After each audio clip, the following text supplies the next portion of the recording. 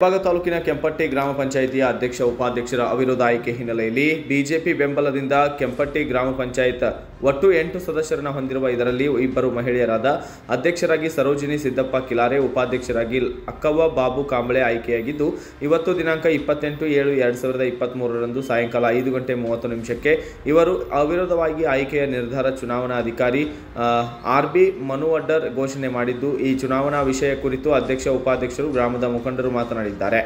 ಈ ಚುನಾವಣೆಯ ಸಂದರ್ಭದಲ್ಲಿ ಪಿಡಿಒ ಮಂಜುನಾಥ ಡೊಳ್ಳಿ, ಗ್ರಾಮ ಪಂಚಾಯಿತಿಯ ಸದಸ್ಯರಾದ ಶಿವಪ್ಪ ಮಹಾದೇವ್ ನಾಯಕ್ ಮತ್ತು ಮಹಾದೇವ್ ಕೃಷ್ಣ ನಾಯಕ್, ಕೃಷ್ಣಪ್ಪ ರಾಮಪ್ಪ ಕುಂದರಗಿ ಸೇರಿದಂತೆ ಗ್ರಾಮದ ಮುಖಂಡರು ಮತ್ತು ಗ್ರಾಮಸ್ಥರು ಕೂಡ ಹಾಜರಿದ್ದರು.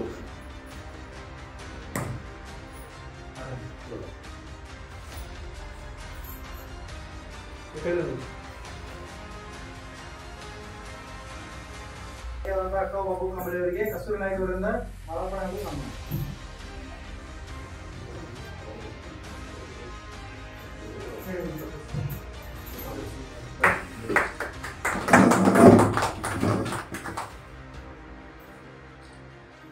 ನಾವು ಶೋಭಾ ನಾಯಕ್ ಅಂತ ಗ್ರಾಮ ಪಂಚಾಯತ್ ಸದಸ್ಯ ಕಟ್ಟಿ ನಾವು ಇವತ್ತು ನಮ್ಮಲ್ಲಿ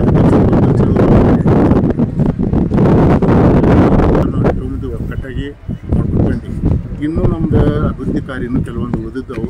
ಉಳಿದಂಥ ಕಾರ್ಯಕ್ಕೆ ನಾವೆಲ್ಲರೂ ಹಿಂದಿನ ಹೆಂಗೆ ಬಂದಿವಾಗ ಎಂಟು ಜನ ಕೂಡಿ ಒಕ್ಕಟ್ಟಿಂದ ಊರ ಅಭಿವೃದ್ಧಿ ಸಲುವಾಗಿ ನಾವು ಪ್ರಾಮಾಣಿಕವಾಗಿ ನಮ್ಮಲ್ಲಿ ಯಾವ ಬರಬಾರ್ದಂಗೆ ನಾವು ಆದಷ್ಟು ಎಲ್ಲರೂ ನಮ್ಮ ಒಂದೇ ಕಲ್ಪನೆ ಗ್ರಾಮ ಗ್ರಾಮವನ್ನು ಅಭಿವೃದ್ಧಿ ಮಾಡೋ ಉದ್ದೇಶ ಐತಿ ಅದನ್ನೇ ನಾವು ಎಲ್ಲರೂ ಅದು ನಮ್ಮ ಧ್ಯೇಯ ಅಂತ ತಿಳ್ಕೊಂಡು ಎಂಟು ಮಂದಿ ಅದನ್ನು ನಾವು ಅವಿರೋಧ ಆಯ್ಕೆ ಮಾಡೋಕ್ಕೆ ನಮಗೆಲ್ಲ ಎಂಟು ಮಂದಿ ಸದಸ್ಯರು ಕೂಡ ನಾವು ಶ್ರಮಿಸಿದ್ವಿ. ಅದಕ್ಕೆ ತಾವೆಲ್ಲರೂ ಬಂದ ಬಂದಂಥ ಎಲ್ಲರಿಗೂ ನಾವು ಧನ್ಯವಾದಗಳನ್ನು ಹೇಳಿ ನಮ್ಮ ಕೂಡ ಧನ್ಯವಾದ ಹೇಳಿ ಬಂದಂಥ ಅಧಿಕಾರಿ ವರ್ಗದವರಿಗೆ ಆಗಲಿ ಅಥವಾ ನಮ್ಮ ಸಿಬ್ಬಂದಿ ವರ್ಗದವರಾಗಲಿ ಬಂದಂಥ ನಮ್ಮ ಗ್ರಾಮದ ಎಲ್ಲ ಹಿರಿಯರಿಗೂ ಹಾಗೂ ಯುವಕರಿಗೂ ಕೂಡ ನಮ್ಮ ಗ್ರಾಮ ಪಂಚಾಯತ್ ಎಲ್ಲ ಎಂಟು ಸದಸ್ಯರ ಪರವಾಗಿ ನಮ್ಮ ಧನ್ಯವಾದಗಳನ್ನು ಹೇಳಿ ಒಂದು ನಮಸ್ಕಾರ ಹೇಳಿ.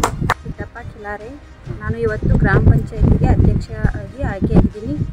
ಇನ್ನು ಎರಡೂವರೆ ವರ್ಷ ನಾ ಗ್ರಾಮವನ್ನು ಅಭಿವೃದ್ಧಿ ಮಾಡಬೇಕಂತ ಅಂದ್ಕೊಂಡಿದ್ದೀನಿ. ಏನು ಏನು ತೊಂದರೆ ಇದ್ರೂ ನಾನು ಹೋಗ್ತೀನಿ ಪ್ರಯತ್ನ ಮಾಡ್ತೀವಿ ರೀ ಆದಷ್ಟು ಪಟ್ಟಿ ಗ್ರಾಮ ಪಂಚಾಯತಿಯಲ್ಲಿ ನಮ್ಮ ತಾಯಿಯವರಾದ ಅಕ್ಕವ್ವ ಬಾಬು ಕಾಂಬಳಿಯವರು ಉಪಾಧ್ಯಕ್ಷರಾಗಿ ಆಯ್ಕೆಯಾಗಿದ್ದಾರೆ.